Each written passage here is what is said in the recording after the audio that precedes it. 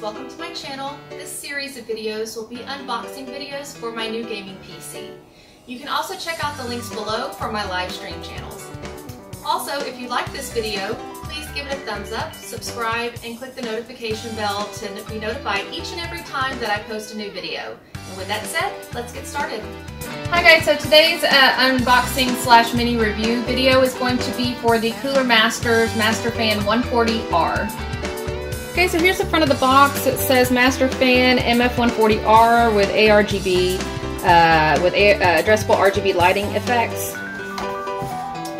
Here is the back of the box. And it says addressable RGB that achieves full color customization, certified compatible with Asus, Aura, ASRock RGB, and MSI RGB. Also says it has a silent cooling technology, a mix of noise reduction technology and sound, absorbing rubber pads for peace and quiet even when your PC is working overtime. Also mentions a uh, smart fan sensor for jam protection. Never uh, worry about your cables getting snagged again. Okay, so let me go ahead and open it.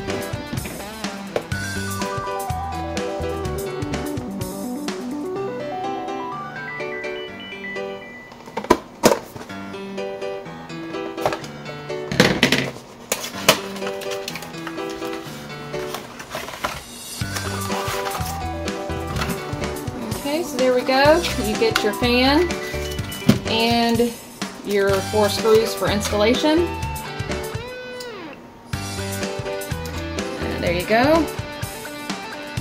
Okay, so I do have one already opened. I'm going to set this one to the side uh, because I do want to talk to you about some of the features and also some issues I've run across. Okay, so here is one that I attempted to install. This would have been the second one. Um, I want you guys to notice the uh, cables here. Um, you have a three pin header for your RGB lighting, a four pin header for your fan power. This is a Cooler Master factory installed fan. It came on my uh, C700M Cosmos case that I have. Now, look how long this cord is. I've measured these. This is 20 inches.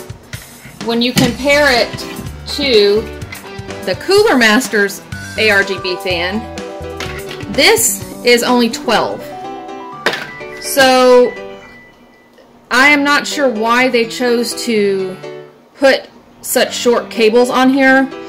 Um, I have one installed right now um, I was not able to install this one or the third one that's uh, that I just unboxed because if you have a medium to larger case, even if it is Cooler Master, um, you're going to have some problems with installation because the wires aren't long enough to reach the power source in the back. So um, I had to stop the installation and go back online and order extensions.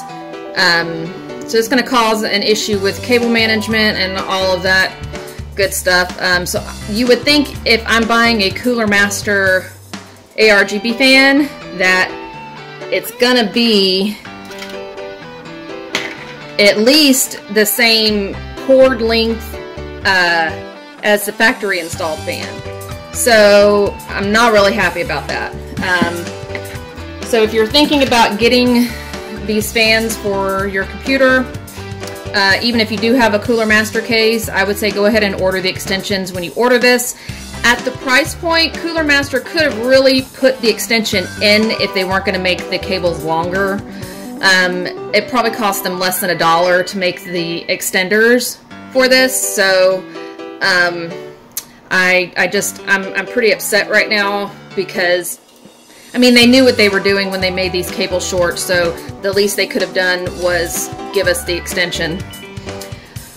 Um, these have a sensor. It's called a smart sensor. And I'm going to test it out for you guys in a minute uh, on the one that I have installed. So, allegedly, if something gets caught in the fan when it's spinning, it will, you know, it'll stop uh, to keep it from getting wound up in your fan and breaking it and all that. So I'm going to show you the one I have installed and uh, I'm going to try to stick a cord in there and see if it really does stop. Um, it does say, like on the on the back of the box, uh, quiet technology, but these fans are not quiet in my opinion. Um, they are actually kind of loud. So uh, just so you guys um, know that and are aware of that. Uh, if you guys have any questions or whatever, you can um, leave them down in the comment box and I will try to answer them. Um, so I'm going to pan over to my uh, case. It's not it's not finished being built, but um, you're able to. I'll I'll show you guys um, the fan that I do have installed. Okay, so as you can see, this is the one fan that I was able to install today. Um, I'm going to show you how you can uh, change your lighting options with the button that comes on the C700M Cosmos case.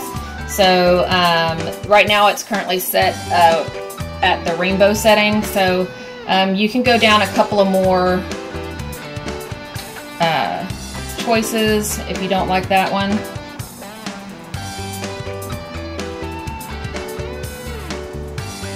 Okay, and then that is completely off.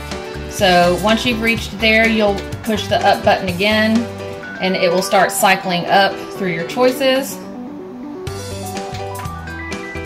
This is the one I tend to keep mine on. And then, you know, you have your solid colors here. Um, once you've reached the red color, there's no more options after that point.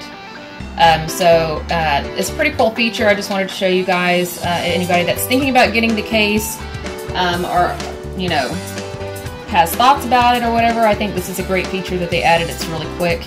Just to push up a button and you can, you know, change it to how you like it. Okay, so um, I want to apologize for all the cables. Uh, right now I haven't really got to the point in my build where I'm focusing on cable management uh, right now. Um, I do want you guys uh, to see the controller here. This did come with a case, um, but you are not able to customize your ARGB lighting because there was no software that came uh, with this to be able to do it. So you have to use the lighting effects that came uh, in the case already. The ones I went through and showed you guys, those are the only ones you can choose from. Um, so that's kind of a letdown. I would have really enjoyed being able to customize the case uh, a little bit more um, than I, uh, especially with the lighting that I have been. For the price point, I, I, would have expected to be able to do that, but unfortunately, I am not. Um, I do want you guys to know I do still have two factory installed fans still plugged up. Um, right here is where the ARGB fan is, and as you can see, this is the wire here. Let me let me see if I can turn it here. Okay, so this is it. It's a very tight fit. It barely plugs in. Okay, when I went to go install the second fan, it would have had to go a little bit further, and it will not reach at all. Um, so I'm only putting the top two fans in the front and then the fan in the back. The fan in the back, I did try that one as well, would not reach at all. Um, because like I said, the, the cables are entirely, entirely too short. So I'm going to preface this demonstration with the fact that I do have dogs and this is going to probably make a loud sound. So if they bark, uh, that is why they're barking, just a heads up you guys. Um, so I am going to read this verbatim off the box here about the um, smart fan sensor for jam protection. It says never worry about your ca cables getting snagged again. Um, my understanding is that it's supposed to stop so that it doesn't like rip your cords off and everything. So we're going to test this out. I have a, a cable here and um, don't try this at home. This is only for the video demonstration. I don't want you breaking your fans or breaking your PC or anything like that. So here we go.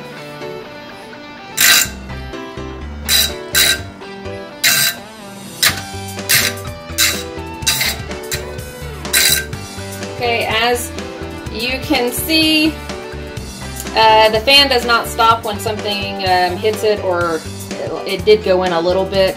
Um, I'm not sure how accurate the smart sensor is or if there's one in there. Um, so there was my demonstration for you guys. Um, again, if you guys have any questions, um, please leave them down below in the comment box. Um, I will. I bought these fans off Newegg um, just because the price point was a little better. I can provide a, a link for that if you guys are interested in it. Um, and I will update you guys um, when I have the extensions and have the fans installed. I'll give you guys another peek uh, to see what how that went and everything. So um, that's going to be it for this video. Um, until next time, guys, see you then.